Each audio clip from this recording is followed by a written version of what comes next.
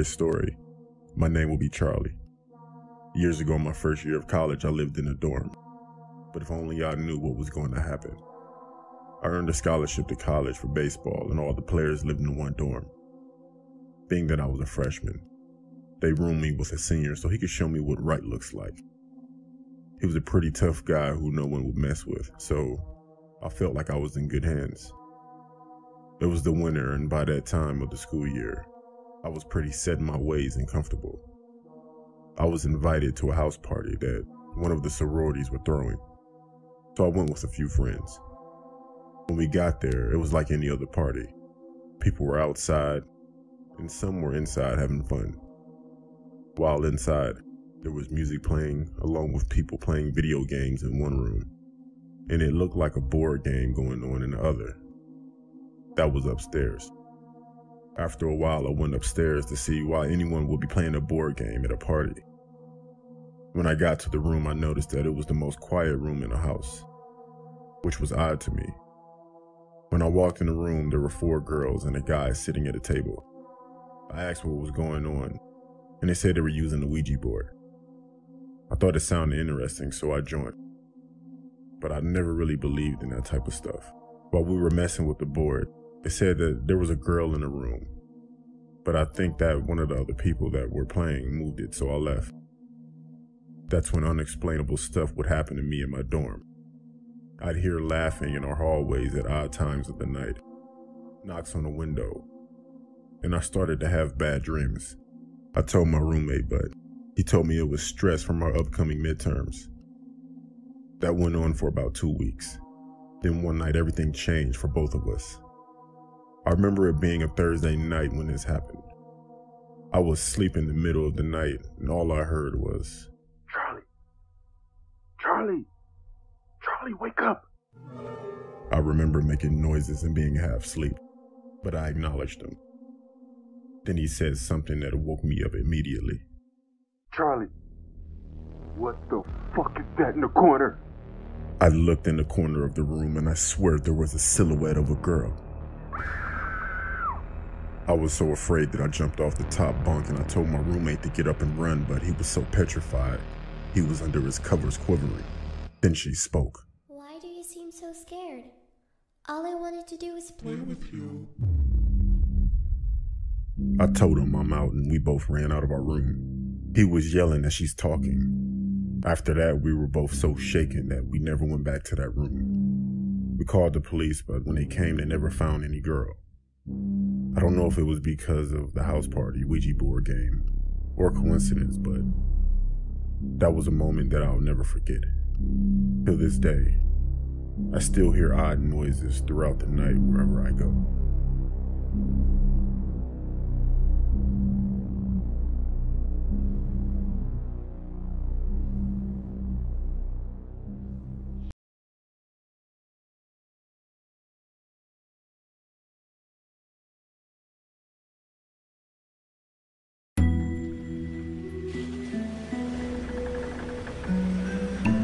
So I'm a nurse, and I was driving home from work one night.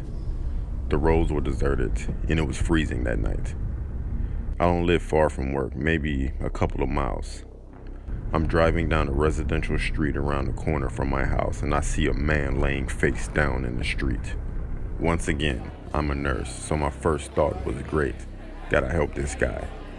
I was coming off of a long shift, and falls happen all the time.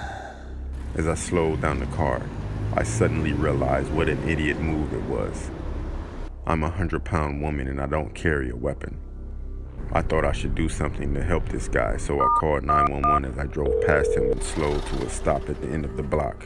While I was stopped at the light, I explained to the dispatcher that there was a man in the road who might need assistance. All of a sudden, I hear a loud bang, bang from the driver's side window. I screamed and I looked over. A man was pounding on my window and jiggling the handle of my locked door. I looked in the rearview mirror and saw that there was no man laying in the street anymore. Still on the phone with 911, I screamed, I'm so scared, to the dispatcher and floored it through the red light. I quickly told him what had happened, and even though I was right by my house, he told me to keep driving. After a few minutes, I had calmed down and he told me to loop back around. I pulled over down the road from my house and I stayed in the car. I didn't see the man anywhere, so I got off the phone with the dispatcher, who told me he was sending a police car to cruise the area. As I gather up my things, I do a final scan of the area, and I see the man. He is walking with two other men. I hunched way down in my car until they were further down the road, then bolted into my house. I don't know if he had ill intent, but it freaks me the hell out that he wasn't alone. Just always, always lock your doors.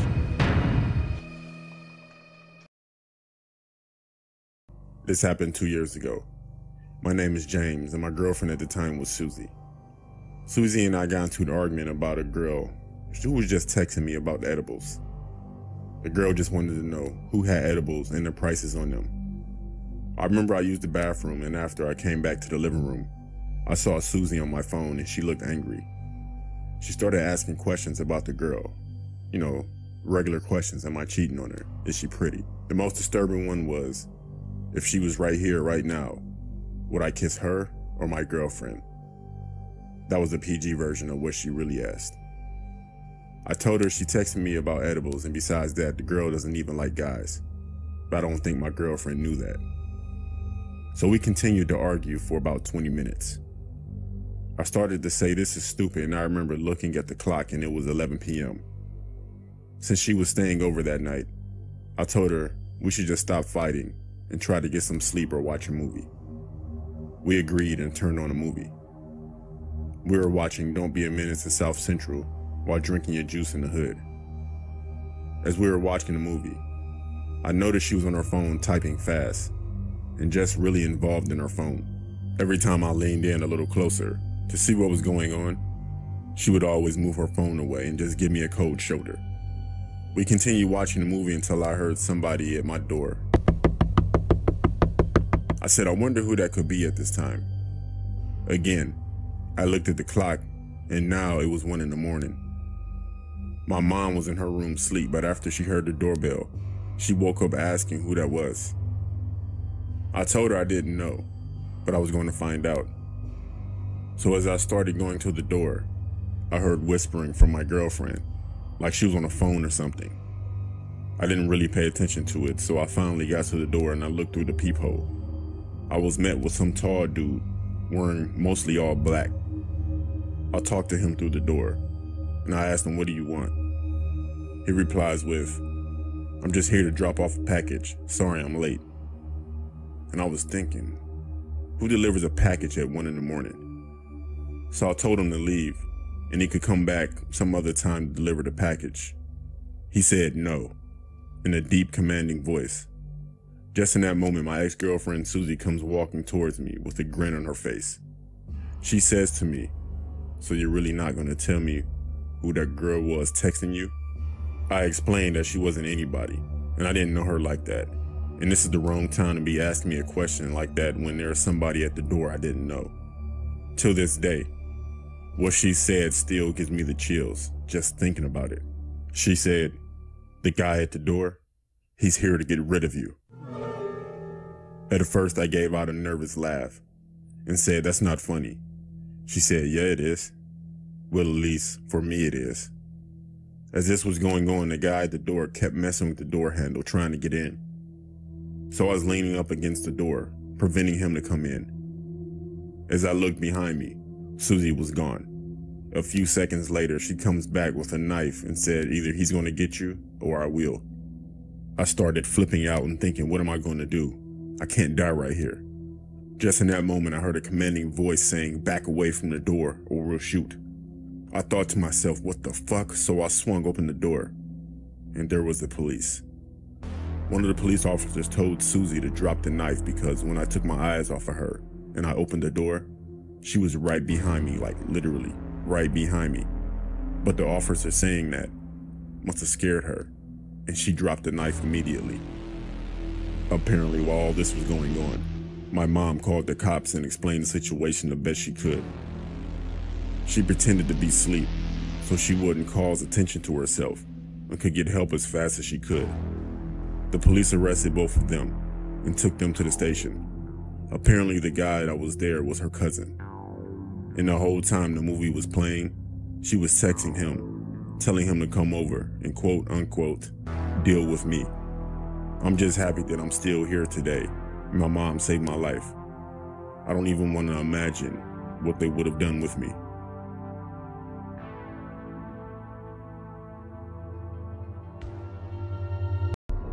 My name is Chris, and this happened to me in the late 1970s. I grew up in a poor neighborhood in Calgary, Alberta, and like most young kids, I had a number of friends from school and the neighborhood. I was 13 at the time, and this was right at the very beginning of the personal home computer revolution. You would hear about personal computers on the news all the time. However, no one actually owned a home computer, and it was almost like a story of science fiction to actually see one. One day, my friends started talking about this university professor who moved into one of our duplexes near our school. He was supposed to be a really cool guy who had all kinds of gadgets in his apartments, and he actually owned a personal computer. One afternoon, when walking home from school, I was crossing through a park near the professor's house. From the second floor balcony of the duplex, I saw some of my friends and they waved to me to come over, so I did.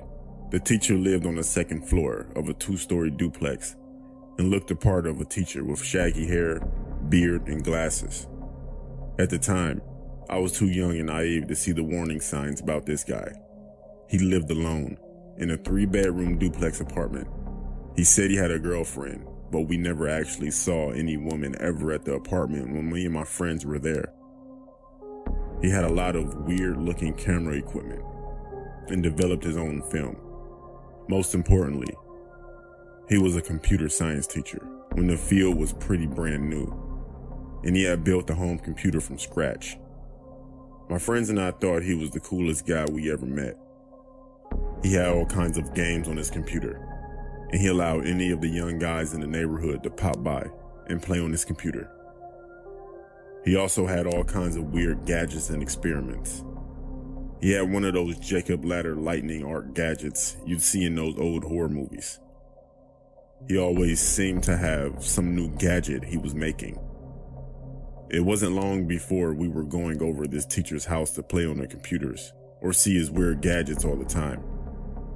Sometimes He'd get very physical and grab one of us from behind and bear hug us when he was greeting us.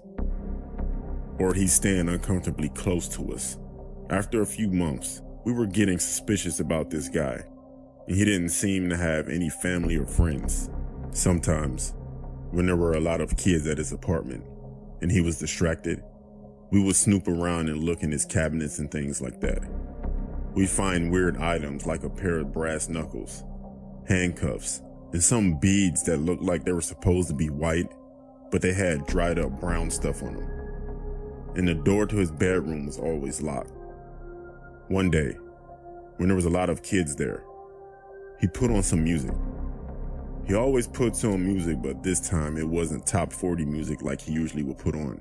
It was like folk music of some kind. My buddy and I were already suspicious at this point, and while everyone was having fun on the computer or hanging with the teacher, we listened to the lyrics of the music. It was hard to make out the lyrics over all the raised voices in the room, but it became very clear that the lyrics was about homosexuality. My buddy and I freaked out, as it hit us at the same time that this guy might like kids in a way that wasn't right. We quickly made an excuse to leave and went home and told our parents of our suspicions. My father freaked out and told us never to go over that guy's place again. We also put the word out on the street, and pretty quickly everyone became weary of this guy. However, one of my friends from our block, Danny, he thought we were all wrong, and he kept going to see this teacher. One day, Danny stopped coming to school, and the rumor was that something bad happened to him by that guy with the computers. Danny moved away, and not long after, so did the teacher. I can't tell you how lucky me and my buddies felt to have stopped going to that guy's house before something happened to us. Years later, when I was in my early 20s, I took a course at the university on computer programming. One night, my buddy and I were in a computer lab and we were testing out a new program I wrote. when who walks into the lab? That old guy. This time, both my buddy and I stood up and yelled at that guy to get away from us.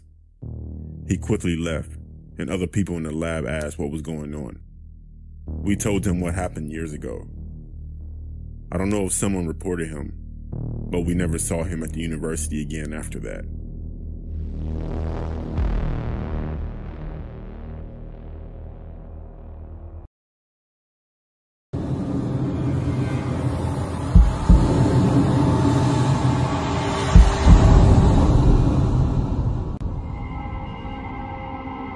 This story happened to me on my first day of high school. I remember walking down my street in the morning toward the bus stop. There were a few other kids that stood next to me talking. There was also a man who definitely didn't belong at a high school bus stop. He was tall, had a shaved head, a mustache, and a white tank top on. I thought he looked weird and out of place, but I really didn't give it a second thought. My first day of high school actually went fine.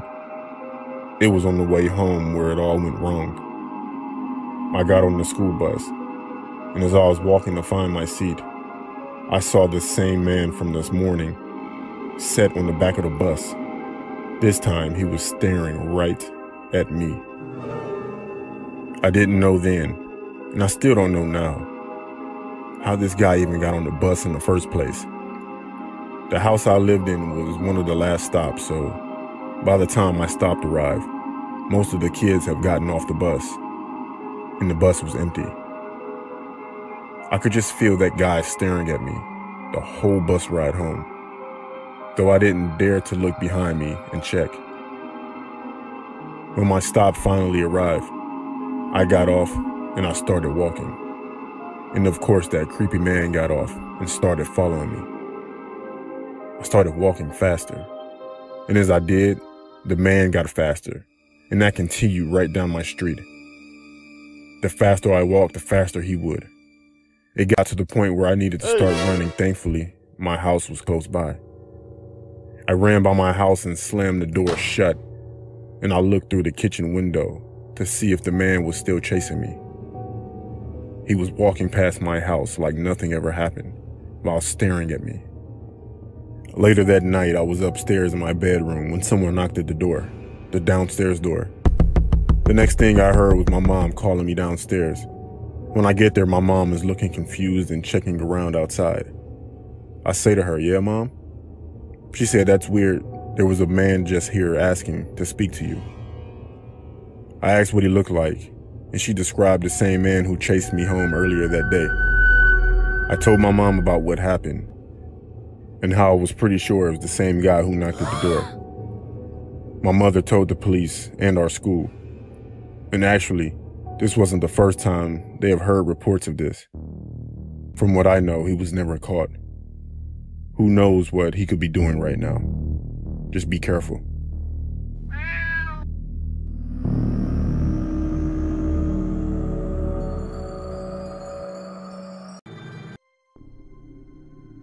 This happened to me about seven years ago. I worked at KFC through high school and college. I went to college really close to where I grew up, so staying at the same work location was very easy for me. One day I went to work at 4:30 and had to work the drive through half of my shift due to someone calling off. It seemed like a regular day until we were getting ready to close. At around 10:50 p.m., this guy walked in and stood by the front register. He looked weird as if he just came from a costume party. I let him know that when he's ready to order, just tell me, as I'm cleaning due to us closing in 10 minutes. He told me that he wasn't ordering and wanted to know what time we closed. I told him 11 p.m. and he left. I'd noticed that he got inside a van that has been sitting in the parking lot for hours. I thought it was weird but continued to clean up. There were a few of us still on shift. Again, everything seemed regular that night. I grabbed the trash and went outside toward the dumpster. As I approached the dumpster, I noticed someone trying to hide in the shadows behind the dumpster. I stopped immediately, and I tried to squint in order to get a better look. Then whoever that was behind the dumpster moved back so I wouldn't be able to see their shoes anymore. But they didn't know I already saw them. I turned around immediately and went back inside. I told my manager he went to the door with one of my coworkers to get a better look. They couldn't see anyone, so they went outside to check it out and left me inside by myself. I felt safe while they were outside. I went to the cash register at the drive through to cash out for the night. Then on my left, I swear I saw the man from earlier in the window. He had a blank look on his face, then he started hitting the window with a dead raccoon trying to get in while yelling my name. I ran to the front door as my manager and coworker were walking back in.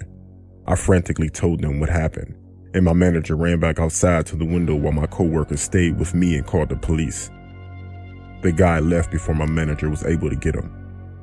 The cameras outside got the license plate, but it didn't match the description of the van, and the plates were registered to a woman. This guy was never found, and I am forever worried that he will come back for me.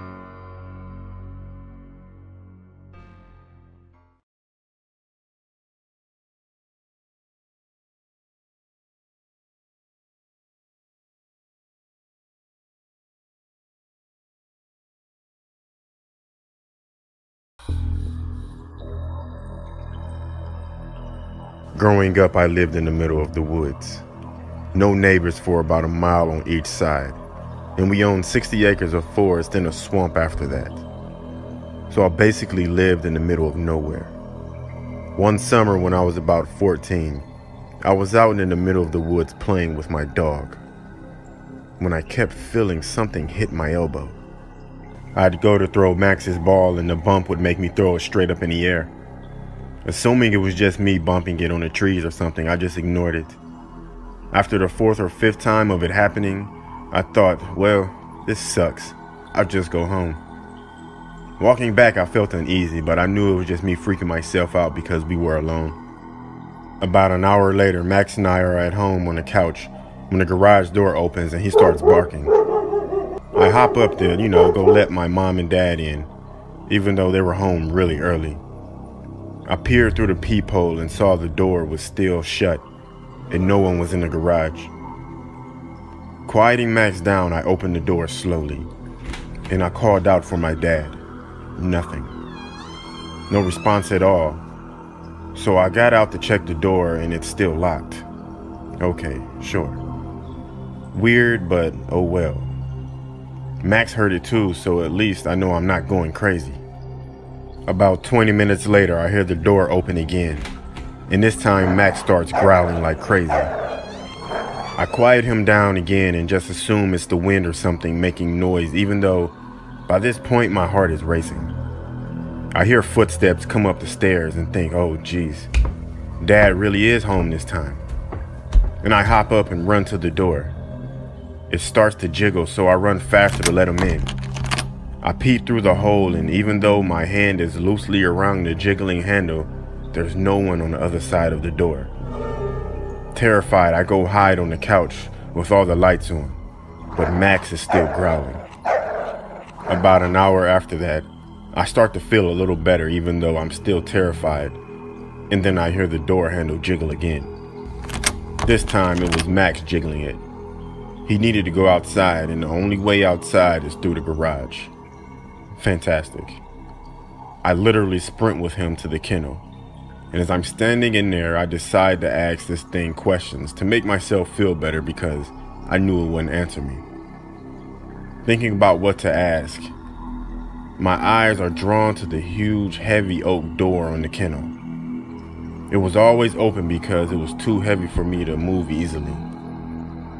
So I said out loud, Okay, Ghost, if you're really here, Shut this heavy door. Then nothing. A minute goes by, nothing.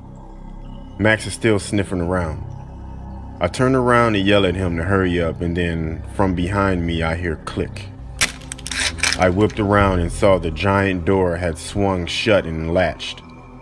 Okay, clearly it was just the wind. It wasn't really windy, but it was the wind, for sure, it had to be. So I proceed. Okay, Ghost, that was the win. If you're really real, you'll open the massive door back up. Then nothing. I relax a bit and then squat down with my head on my knees, reminiscing about how lame I just was being scared when I hear click, clack. The door was now wide open. Max was done, so we booked it back into the house, locking every door in the house. For the next four hours, I would hear the footsteps on the stairs and the door handle jiggling every few minutes, until finally, around 11 p.m., my dad walks and yells at me for wasting electricity. I never told him or my mom about it until about four months later when my dad came in from hunting after dark. He looked shaken, and I asked him what was wrong. He said he aimed at two deer but missed both completely because it felt as if something was hitting his elbow and making him shoot way above the deer. That's when I told him everything.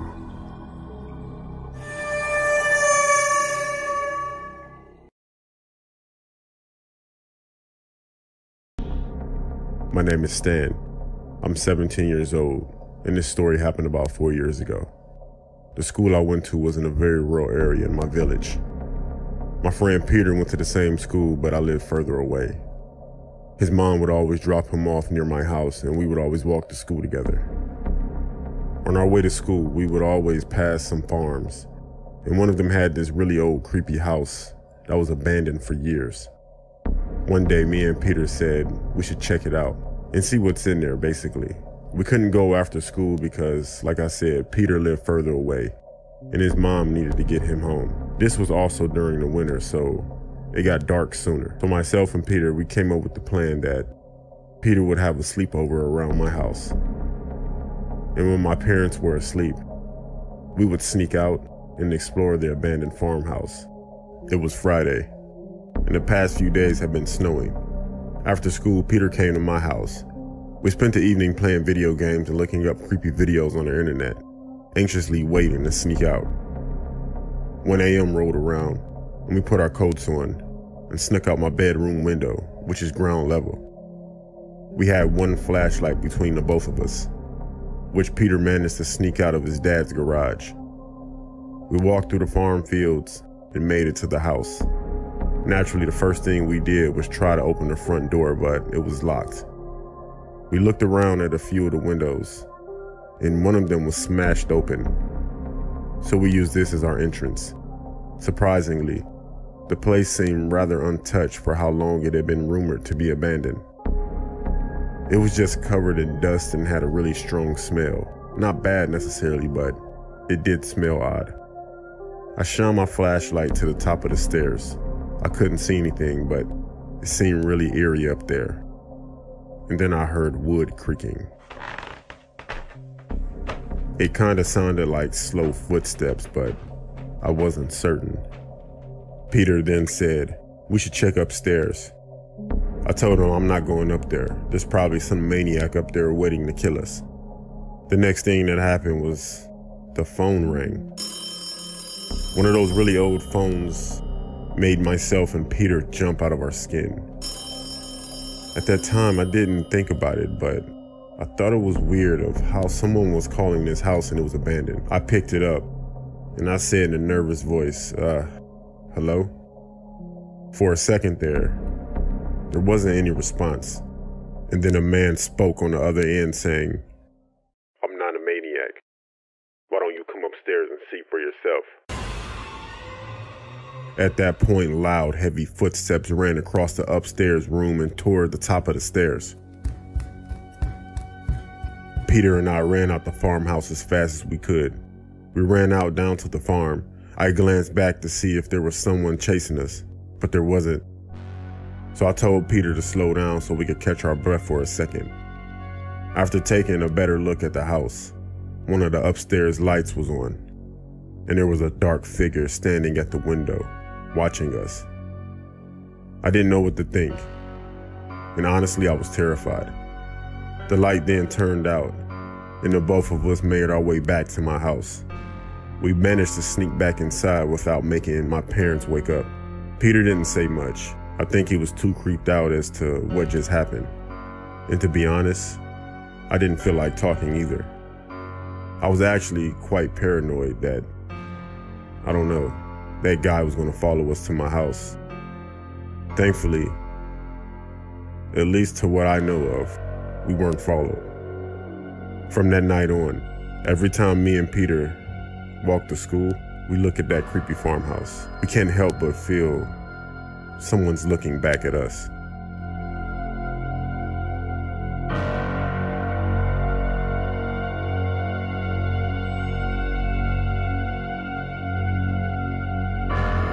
had just moved into a tiny town that was literally in the middle of nowhere and had less than 100 people in the total population. I was about seven at the time, and I had overheard my parents talking about a dog that kept barking all night that kept them up. I wanted to help them, so I went out looking for neighbors with dogs just to ask them if they could maybe keep their dogs from barking all night. So this particular town had a bad track record of houses catching on fire so there are a lot of old half-burned houses just sitting there. This particular incident happened with one of these ruined houses. As I'm walking, I hear someone call out to me, and I turn to see a very beautifully kept lawn in front of a nice white two-story house. There's a nice old couple sitting in lawn chairs out in front, and the woman is calling me over. I walk over to the fence. The woman asks me what I'm doing walking around here by myself. I tell them about the dog and ask if they know about it. The woman says that it's her dog and she'll try to keep the dog down, and then offered me a full-size Snickers and I took it. Feeling like I accomplished my goal, I went home. At that time, I really wanted to eat the Snickers, but it had melted on my walk back home, so I put it in the freezer to chill. Then my friend comes over, and we head over to her house, and I forgot about the candy. Wondering how the ruined houses fit into this? Well, when I return home from my friend's house, I tell my mom about the nice couple, and they would keep their dog quiet. I tell her where the house was, and she gets really confused. What do you mean? There isn't a house there. I would have shown the candy bar as evidence, but I had totally forgot about it. After some back and forth, we agree to go on a walk tomorrow in the daytime so I can show her which house I mean. Next day, we walk down to where the house was, and there was no house. The well-kept lawn was just overgrown weeds, In the house was just nothing but a pile of rubble. Only the fence still remained. I ran home to show her the candy that I had just remembered about, and that was gone too. I still get chills when I pass by that vacant lot to this day, and right now, I'm 20 years old.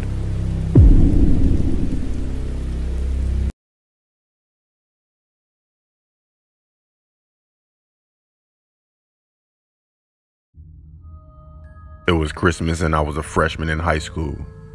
My family has been split up for some time, so normally we trade off Christmas Day and Christmas Eve each year. And this year, I had come home early from my grandparents' Christmas party while everyone else was at my aunt and uncle's celebrating another party. When I was dropped off, my cousins offered to stay with me for a few hours, but I declined.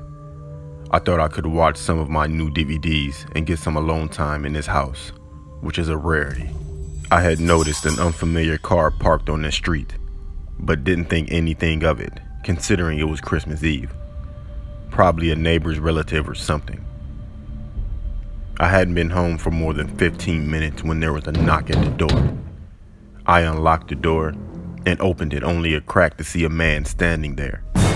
Dark hair, glasses, slightly overweight, and dressed casually. He didn't look like much of a threat, but my stomach dropped. He asked, I was wondering about the car outside. Is it for sale? I told him I don't think so. Is there someone here I can talk to about it? I said, quite stupidly, no. You can come back another time. And I shut the door and turned the lock as fast as I could. He reached for the door handle immediately and started pounding on the door. I heard a string of profanities and the pounding stopped.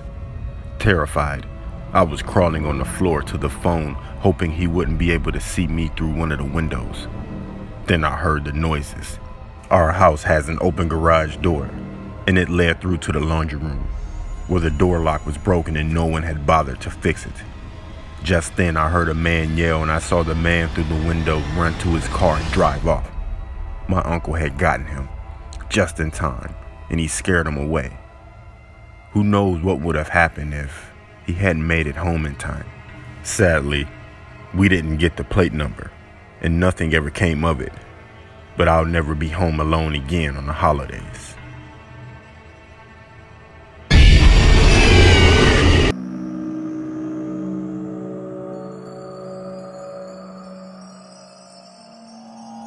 We used to have this neighbor. His name was George. He was about 50 years old at the time. He lived alone, and I swear all he used to do was just stare out his window, giving us dirty looks. Whenever kids would knock on his door asking for their ball back, he would always curse at them and make a big fuss about it. Sometimes, he wouldn't even give the ball back until a week later, when he would just puncture the ball and it would be flat and then he'll just throw him over the fence. He was a moody old guy.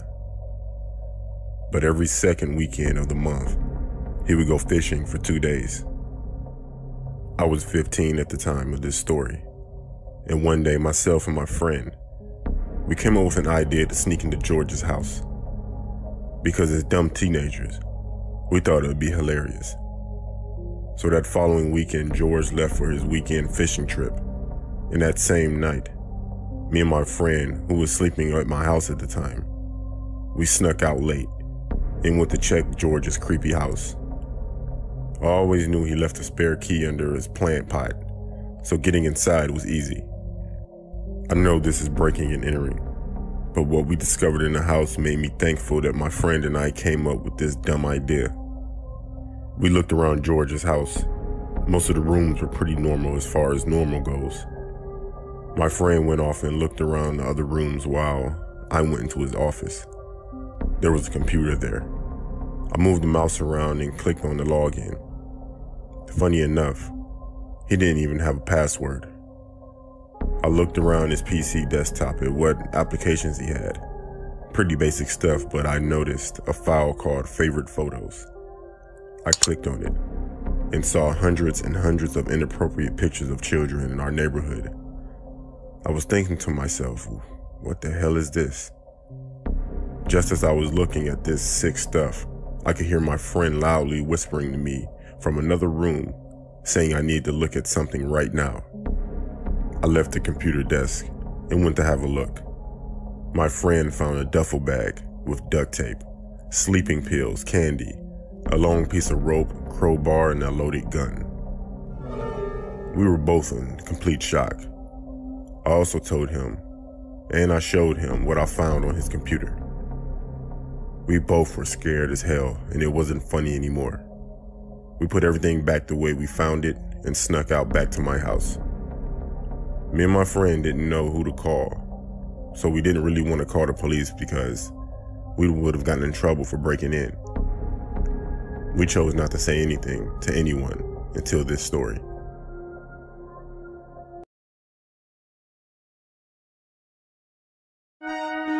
It was prom night, in the place where the prom was being held in a big lodge in the middle of the countryside. The prom was going pretty well. I snuck outside to have a cigarette. I stood outside around the back of the building. I lit my cigarette and enjoyed the view of the countryside. As I was looking around, I noticed something in the distance out in the field. It was a figure walking toward the lodge. I kept my eye on the figure as I was smoking. At some point, the figure must have noticed me because it stopped. Then it started running toward me full speed. Getting closer and closer, I could see it was a man, a crazy dude sprinting really fast with long gray hair, carrying what looked like a hatchet. The guy seemed to be smiling, but angry at the same time. I dropped my cigarette and I turned around to go back inside, but the door was shut behind me as it was a fire exit and only opened one way. I started banging on the door, screaming for someone to let me in. It was too late to run around the front of the lodge. The insane man was too close, so running wasn't an option. I kept banging on the doors, but I was thinking I wasn't going to be heard as the music was playing loudly. And I was thinking I was about to die. Just before the man got close, the fire escape door opened with my friend asking what's going on. I quickly pushed her back and I scrambled inside. I also slammed the door shut right behind me. As soon as the door closed, I pressed my ear against it and I tried to listen to see if the man was still there. All I heard was heavy breathing. Then I heard footsteps walking away on the stones. I told my friend about what I just saw, but she didn't believe me. She said it must have been one of the guys playing a prank on me, but I know what I saw. I couldn't enjoy the rest of the prom after this knowing there was a crazy man out there. Luckily, nothing happened the rest of the night, but I always worried about whoever that man was he saw my face. And if he saw me again, what will happen?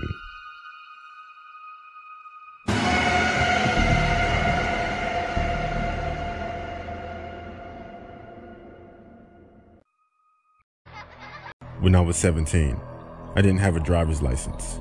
Most of the time I walked or hitchhike. There was this one night. There weren't that many cars on the road, and it was very cold and this man pulled over. When the guy pulled over, I, I, took a good look at the guy and figured I could take him if he tried anything. He was on the slender side and had a strange frailness about him, even though he looked healthy enough. I got into the car after we agreed on the destination. We exchanged names and I warmed my fingers up in front of the heating vent. He spoke quietly, asking a few questions along the lines of, was I local and how did I like living there? He said he only been here for a few months, but found it beautiful and hoped he could find happiness there. That comment struck me as a little odd, but I brushed it off. It began to snow and the road quickly got slippery. So he slowed and he kept his eyes straight out the windshield, driving silently. I was okay with that, as small talk was never my forte. About 10 minutes later, I noticed the car near the intersection we were approaching seemed to be sliding, so I said, Watch out. He immediately hit the gas, shooting through the intersection and burst out with, Don't ever scream at me. Needless to say, I was taken aback. I said, Look, this is close enough. Just pull over here and I can get there. He didn't seem to hear me. So I said, Richard, did you hear me? I said, You can pull over here and let me out. But no response. He just stared straight ahead, driving faster now than he did when it started snowing. To say I was scared doesn't seem to cover the depth of the fear that began to rise in me. I didn't know if I should stay quiet or speak, but I was damn sure not going to yell after his outburst. After about a mile, he began to mumble under his breath. I couldn't quite make out what he was saying, but I assumed he was speaking to me. So I said, What did you say? I couldn't hear you. He began to speak quietly and rapidly, saying things like, You're always yelling at me. I've told you time and time again, do not yell at me. I don't appreciate it. No, you don't listen. You don't listen. And I was just sitting there looking at him. I was at a complete loss. I didn't know what to say in response or if I should say anything at all. I contemplated just jumping out of the car, but nixed that idea when I realized the door lock was missing. There was just a silver lined hole where it should have been. I started to cry and debate with myself about causing an accident by grabbing the wheel and hoping for the best. When he suddenly looked at me for the first time since I had gotten in the car, he blinked several times rapidly, then slowed the car, pulling into a gas station. I waited to see if he unlocked the doors, not wanting to say anything to set him off again. After a minute or two, he quietly said, I think I better let you out of here. And he hit the button to the door locks, and he opened the door. I wasn't about to hesitate, so I jumped out of the car as if I were on fire. I was about to turn and walk into the gas station when he called my name. He looked so damn sad and I hesitated. He apologized, said he was sorry if he had frightened me, that he never would have harmed me. And he asked if I'd be able to get home okay. I said I would and closed the door. He began to pull out of the gas station, but stopped suddenly. He just sat there for a couple of moments, his head down. I froze, wondering what the hell was up, and was about to run into the gas station, but he opened his window and yelled at me, waving something in his hand, my hat. I left it on his seat. I slowly approached the side of his car, and he handed it to me, apologizing again. I didn't know what else to say, so I just said, thanks. I watched as he drove off, making sure he was out of sight before moving on so he wouldn't know which direction I was heading. As I walked, I went to put my hat back on, and a piece of paper fell out of it. Folded into a paper was a hundred dollar bill. The paper said, I'm sorry. Please take a cab and don't hitchhike anymore tonight. I didn't. In fact, it was the last time I ever hitchhiked in my life. Will never, ever do that again.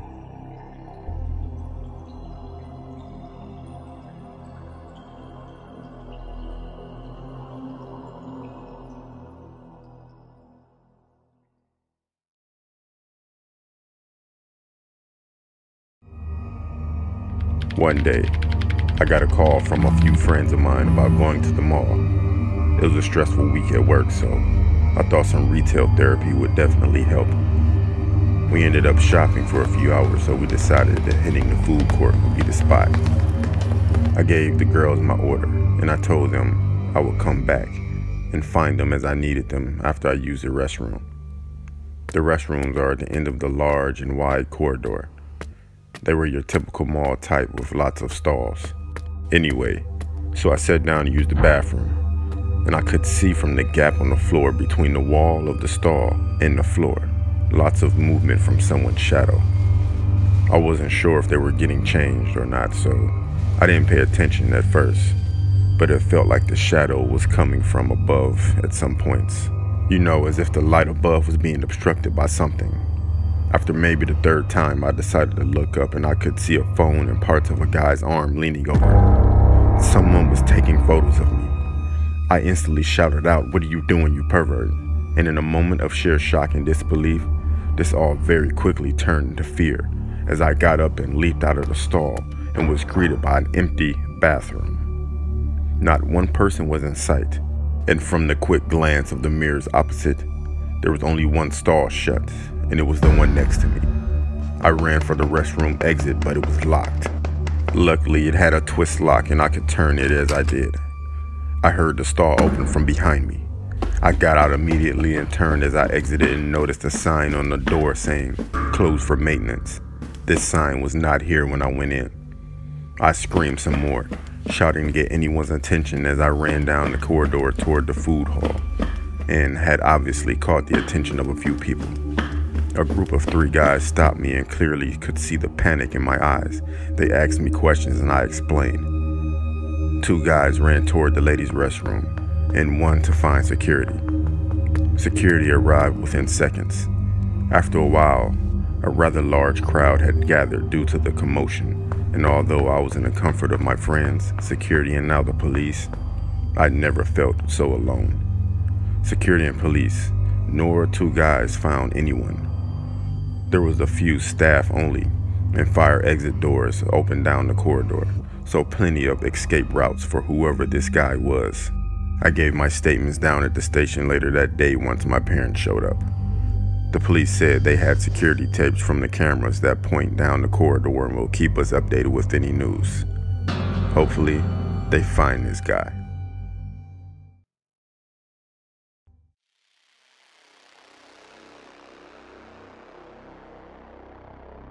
When I was 15, my mother went out shopping and left me in charge of the house. It was starting to get dark, and I realized my little brother was nowhere to be found. I asked my sister if she knew where he was, and she said he had gone to the park around the corner to kick his soccer ball around. I told her to watch the house while I was gone and ran off to the direction of the park. When I got there, I was surprised to find the park completely empty. I called out my brother's name, but there was no answer. I started to get worried, and all of a sudden I heard a faint muffled noise coming from my left. I turned just in time to see a tall figure disappearing behind a large fence.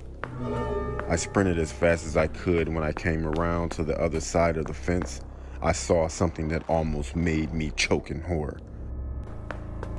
My little brother was being dragged down the alleyway by a tall man. I flew into a rage and tears of anger streamed down my face. I ran at him and he must have heard me coming because he turned around to face me and he dropped my younger brother. The tall man tried to grab me, but I was running at him so fast that when I slammed into him, it knocked him off his feet. He swore and tried to get back up, but I just started stomping on his face. Without stopping to ask questions, I picked my brother up and ran as fast as I could back to our house. By this time, it was pitch black outside and my mother was home. She was frantic with worry, and when she saw the look on our face, she realized that something bad had happened. As I explained, my brother and I started crying, and my mom gave us both the biggest hug ever, and she cried with us. Eventually, the police were called, but this guy was never found.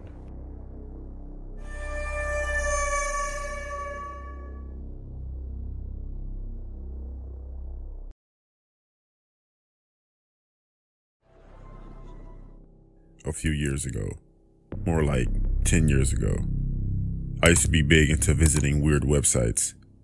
I had a lot of time on my hand due to not playing sports, nor did I volunteer for anything at all in high school. I told my friend Mark that I was starting to get bored. Honestly, I was bored with what I was experiencing on these websites. He said I should go on the deep web. He and I used to go on the deep web, but never found anything. So I decided to search through some more stuff a little deeper. I searched for hours every day for about two and a half months. Still nothing that I hadn't seen already. I told Mark, and of course he said just visit the dark web. When I did go on the dark web, I saw chat rooms, all with different names. I came across one named I, as in E-Y-E. It was all in caps. I entered the chat, but before entering the live chat, you are assigned a number. Mine was P34. I confirmed my number and entered. There were hundreds of people. The comments were coming in quick. At first, I didn't understand what was going on. The screen was black, then a name popped up on the screen that said Mr. Wiggles. The comments immediately stopped and a voice came over my speakers. Welcome, P34. Then his name disappeared off of the screen and the comments continued, everyone giving me welcomes. A few minutes go by, then a countdown from 10 pops up on the screen. Then the chat goes crazy. Once it reached the number one, the screen went straight to what looks like a view from a camera just watching someone in what looks like at their home. I sat there watching this for 20 minutes and nothing happened, so I shut down my computer. The next day, I went to school, had a normal day, went to Walmart, then I went home. I decided to go back on the same chat from before. I confirmed my number P34 and again, there were hundreds of people commenting. Mr. Wiggles popped up and just like before, the comments stopped.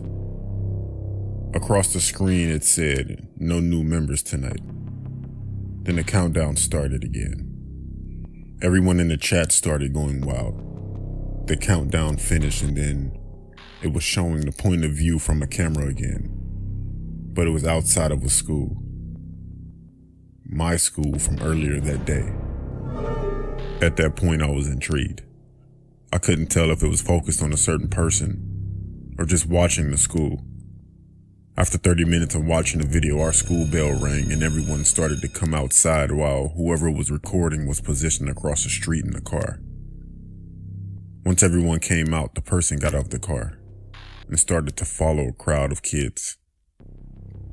Everyone started to split from each other, and the person recording started to follow someone. It was my friend Mark. He had to be at least 100 feet behind him. I started to call Mark, but he didn't answer. I kept calling him as I watched the video, but nothing.